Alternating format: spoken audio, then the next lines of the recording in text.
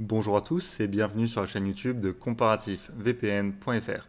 Aujourd'hui, je vais vous présenter un tutoriel très rapide qui explique comment faire pour débloquer un site bloqué. Donc les sites bloqués et le message d'erreur ce site est inaccessible peut arriver dans bien des situations. Ça peut être lié à des blocages réseau par l'administrateur, donc notamment sur votre lieu de travail, à l'université ou dans des hôtels par exemple. Ou alors ça peut être lié à un blocage au niveau du fournisseur d'accès à Internet qui, pour diverses raisons, peut être amené à bloquer certains sites. C'est le cas notamment dans des pays très censurés comme la Chine, la Russie ou la Turquie par exemple. Donc là, on essaye d'accéder au site einmayas.com et comme vous pouvez le voir, on a un message d'erreur, ce site est inaccessible, la connexion a été réinitialisée. Il nous est donc impossible d'accéder à ce site, que l'on soit sur ordinateur, tablette ou smartphone, on aura le même message. Afin de débloquer ce site ou n'importe quel autre site, on va alors utiliser ExpressVPN.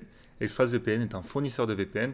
Il s'agit d'un logiciel qui va vous permettre de chiffrer vos données automatiquement en vous connectant à un serveur du fournisseur et ainsi votre fournisseur d'accès Internet ou le firewall du réseau sur lequel vous êtes connecté ne sera pas en mesure de voir quelle requête vous tapez. Il ne pourra pas savoir qu'on essaye d'accéder à HideMyAss et du coup, ne sachant pas à quel site on essaye d'accéder, il ne peut pas le bloquer. ExpressVPN sert évidemment à énormément d'autres choses que de débloquer les sites bloqués.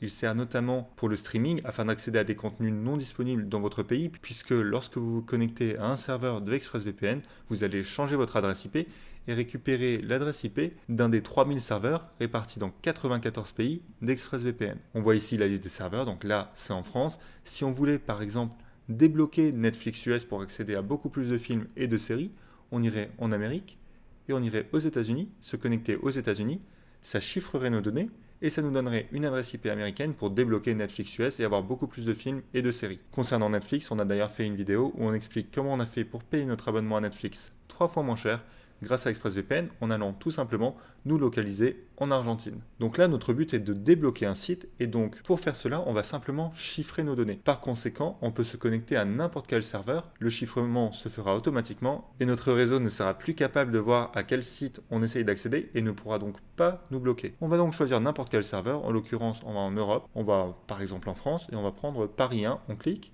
et on se connecte je suis connecté, j'ai une nouvelle adresse IP et mes données sont chiffrées. On va donc mettre à jour la page et vous verrez que le site sera accessible.